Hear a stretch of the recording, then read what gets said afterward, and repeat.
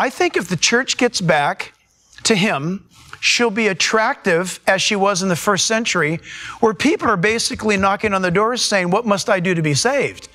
Right now, this is a very unstable age, and so people want to know what's true. So, yes, I pray that there is a revival among God's people, which will then result in a great awakening among the lost. I pray that that happens. If that doesn't happen, then we're going to continue to see the downward spiral of America.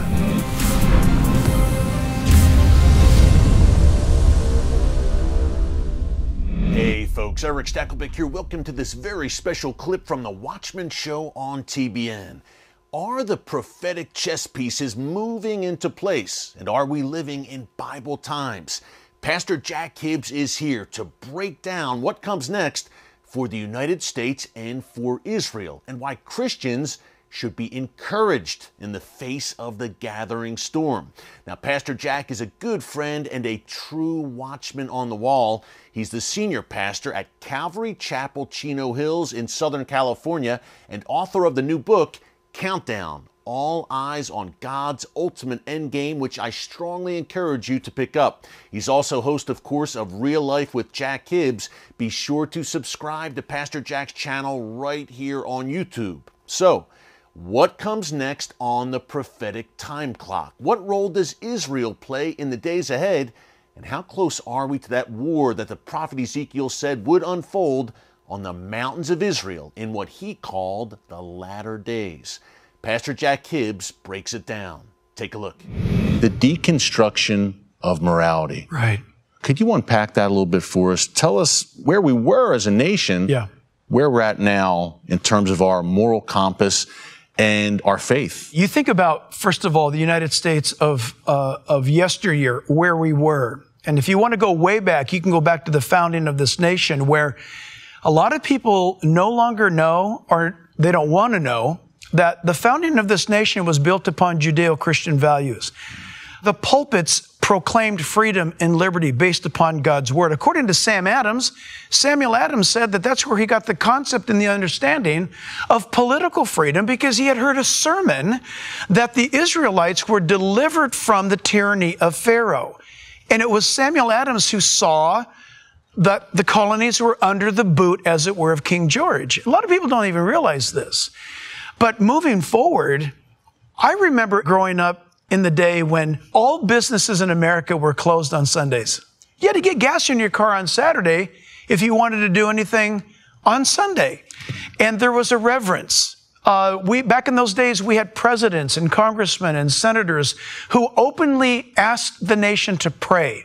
I mean, think about it. when was the last time we had a presidential uh, declaration or proclamation of prayer, for example. America has drifted away from God. I don't think it takes a spiritual Einstein to figure that out. We look around now at a culture that is imploding upon itself because there's no moral uppinnings to strengthen us. In other words, you know this well with your incredible coverage and time in Israel, that when there's no king, right, when there's no authority, when God is not the focal point, every man does what is right in his own eyes. That defines America today. It's everyone wanting to do what's right in their own eyes. Why? Because the decay has happened because we have lost touch with God. And to whom much is given, much is required. Oh my. I think that often with the United States and just being here in Southern California, the natural beauty Yes. Here and the blessings here. Do you see any potential for a larger revival in the U.S.? Some people have said, hey, there will be a revival, but within the church, actually. You're actually seeing that at your church, in a sense. You've baptized over 3,000 people during COVID alone. Yeah. But do you see the opportunity for a larger nationwide revival, or has the ship kind of sailed? Because I've read uh, the book of Jonah, I always have hope. At the last moment, God can choose to do something. I believe that God is waiting to hear from the Christian, from the pulpit. Uh, remember, he says, if my people who are called by my name, he's not asking the heathen to call out to him. He's asking for his own to call out to him. At any moment, we could do that. And we know from the book of Jonah that God could press pause. Remember, judgment was declared upon the Ninevites, but because of their repentance, he pressed pause. It's possible that God could grant us grace and mercy. I pray the church is going to have to get very orthodox. We've got all kinds of goofball doctrines running around, and we've got a lot of wokeism that has permeated the church and the yep. pulpit today. But I think if the church gets back to Him, she'll be attractive as she was in the first century, where people are basically knocking on the doors saying, What must I do to be saved? Right now, this is a very unstable age, and so people want to know what's true. So, yes, I pray that there is a revival among God's people, which will then result in a great awakening among the lost. I pray that that happens. If that doesn't happen, then we're going to continue to see the downward spiral of America until we will be a nation that no longer, for example, loves and supports Israel. I, at that moment, would, as it were, wash my hands. The relationship between the U.S. and Israel is the only thing that's keeping the U.S. from going down right now. And I base that off of Genesis 12. Yeah. So critical time, big decisions to make. Will America turn back to God? Uh, we'll see. Pastor Jack, I love you because you're a straight shooter and you tell it like it is. And this is no time to mince words. No. The times, these are Bible times that we're yeah. living in now. You talked about the doctrine or lack of sound doctrine in a lot of American churches today. You've sounded the alarm about the lack of prophetic teaching right. in American churches. Unpack that a yeah. bit more for us. Disturbing in, in, these prophetic times in which we're living, yet the pulpits are largely silent on the issue. Not your pulpit, of course, yeah. but many across the country. Three things Paul the Apostle warned the church uh, before his passing. He said, Don't be ignorant regarding spiritual gifts.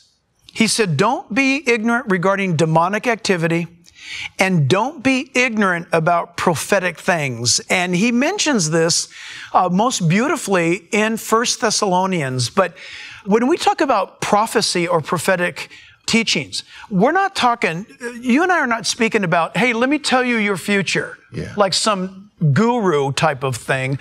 No, we're talking about the fact that this Bible, uh, scholars bicker between is it 27 or 33% of this book that's prophetic? Hey, they can bicker all they want. The point is, more than a quarter of this Bible is prophetic in nature. And here's what's fun about this. How do I know for sure that I'm going to make it to heaven based upon what Jesus preached in the gospel? How do I know that? How do I know uh, if God's going to keep his word? Number one, Bible prophecy. The prophecies that have been fulfilled, those prophecies were written in the scriptures and they were fulfilled literally. The big home run hitter is God says in the last days, before I return, I'm going to draw Israel back to its homeland. And Isaiah says that that's going to happen in one day. And what happened? May 14th, 1948? In one day, one day, Israel's declared a nation again. I'm a big believer, and this raises some eyebrows, but let, let it go. If, a lot of people are saying, well, you know, the church has replaced Israel. That's, that's replacement theology. That's bad news. If God doesn't keep his promises to Israel, then I have no assurance he'll keep his promises to me but he will keep his promises to Israel. Thus, I have full confidence that in these days that we're seeing the alignment of events being set up. I like to look at it as the chess pieces are being placed on the table now. We can recognize globalism.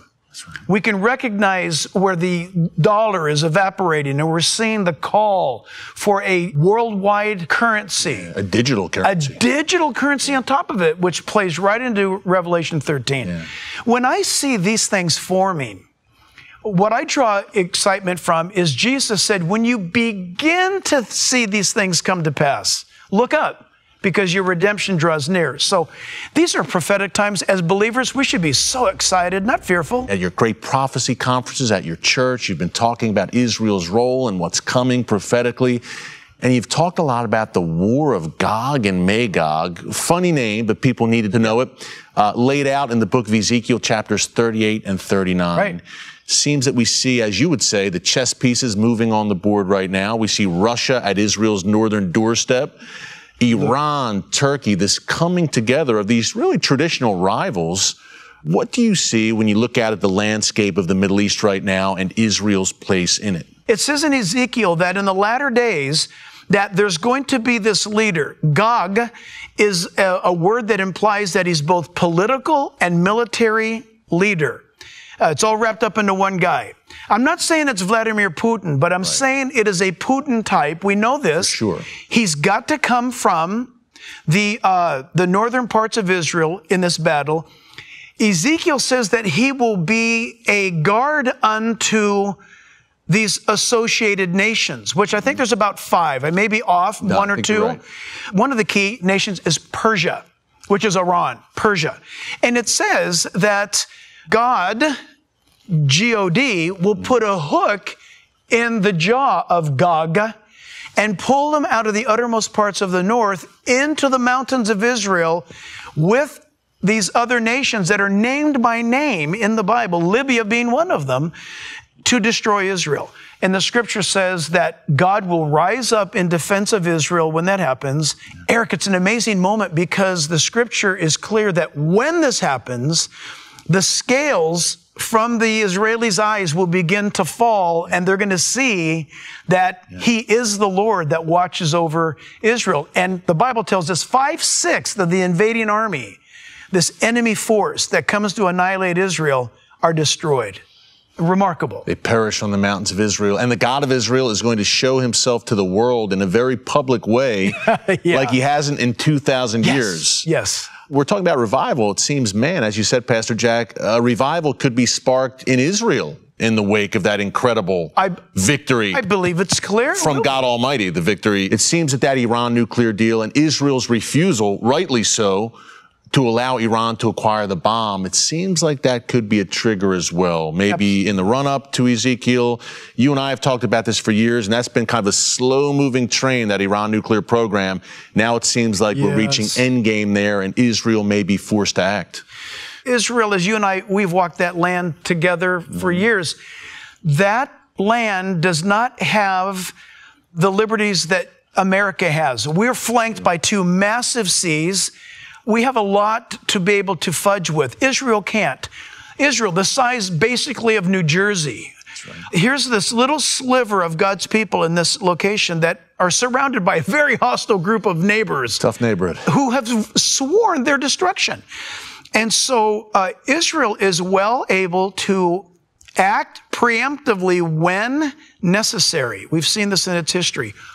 Are we going to wake up any moment to see this in the news? Maybe so. But I got to tell you, you know this better than I do. The United States and its policies right now is actually making things worse in the Middle East and actually facilitating war. Because with this administration, it's not causing Israel to feel so safe but it's also emboldening the ones who not only said, listen, we're giving them money, and they've said, we're going to destroy Israel and then you. Little Satan and great Satan, in their words. What in the world is going on? So, I mean, that could lead into the decline of America. I mean, it could really lead, and maybe we're on our way. You said it earlier, Genesis 12, 3. It's yeah. non-negotiable. I will bless those who bless you. I will curse those who curse you. It's very clear. Very clear. Hey, you break it down the book beautifully, Pastor Jack. Countdown, all eyes on God's ultimate end game. It's an easy read. As you and I said, it's almost a slightly larger track. That exactly which is a great thing. Exactly right. Read it and pass it along to others. I love your preaching, Pastor, because you always end on an encouraging note. God Almighty is still yeah. on the throne. Give us our marching orders right now and, and some encouragement uh, as we close here and what we can do as believers as we kind of navigate these very uncertain times. But but exciting times for the body of Christ. Paul told the church at Rome, these things have been written that you, well, these things that have been written down have been brought to pass so that you might have strength and hope in the scriptures. John said, these things have been written that you might know that you have eternal life. Again, the believer should be bold and strong right now at a time like this, we've got truth and we've got hope. And so as we look around at what's going on, this is our moment. This is our hour. This truly is. And so if you don't go to a Bible teaching church, go find one. Yeah. But by all means, continue to fellowship. Don't forsake the assembling together of the saints. Support Israel in prayer. Get involved in what's called righteousness. When the Lord comes or when we go to see Him, we want to be busy about our Father's business. I want to get caught doing good. And so, uh, this is just a thrilling time. And, and so to be a Christian, I'm watching, we're watching Bible prophecy uh, form in front of us, and that just causes us to be more confident more than ever. Hey everyone, thanks for checking out the Watchman Newscast. If you enjoyed this episode and want to see more, make sure you go ahead and hit the like button, click subscribe, and tap the bell icon to turn on notifications for new Watchman Newscast episodes every weekday.